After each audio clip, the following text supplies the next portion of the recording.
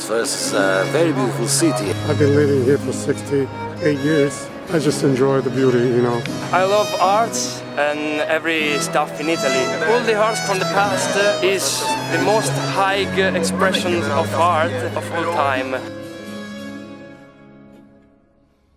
During the Renaissance time you could meet Michelangelo, you could meet Leonardo, you could meet Raffaello walking here. If a modern architect want to build uh, something like Duomo, he can, he can do it.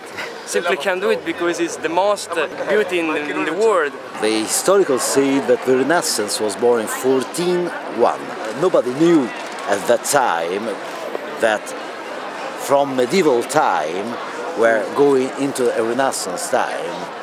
Uh, it happened some centuries after. It's like today, I wake up and people say, oh, you are in the Renaissance, good morning. 1401, the most famous corporation of Florence said uh, they, they decided to make a concourse to make a new door of a baptistry. Many artists showed uh, their projects for the doors of a baptistry. The corporation said, yeah, we want everything beautiful, but you have to save money because we don't want to spend very much. Brunelleschi made his project a little more expensive, and Ghiberti made his project cheaper. And so they chose Ghiberti, and he realized the second actually gate of a baptistry after the one of the already existed by Andrea Pisano. Andrea Pisano is one of the architects who built uh, the cathedral and who built uh, the bell tower. He built part of a cathedral after Arnolfo di Cambio.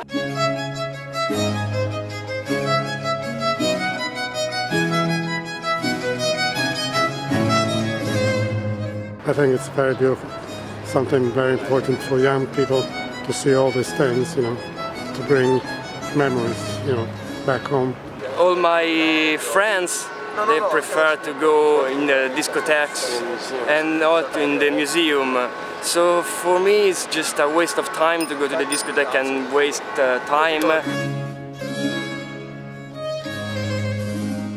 Florence today is a, an open sky museum because of the Medici, because of the Lorena family. The first one we can see was uh, Giovanni di Bicci, who came from Mugello. He built a little bank inside uh, Republic Square, at the time was called the Old Market. He started to, to, to make money and he became uh, very, very powerful. Giovanni di Bicci was involved with Rome and he had another bank in Rome with the Vatican, with the church, with the Pope and after he died, Cosimo the Old came to the power and he developed this money and many banks. He had banks in France, he had banks in Bruges, a very important bank in Bruges. And uh, after many, many, many, many centuries, the Medici family, they had the problem of uh, descent. They started to have many marriages uh, with, inside the family. A lot of them died very young uh, and born with deformations, uh, etc.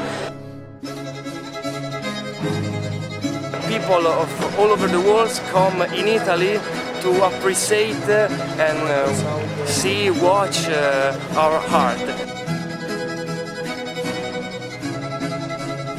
Italian art influence all the young people and all the people in the world.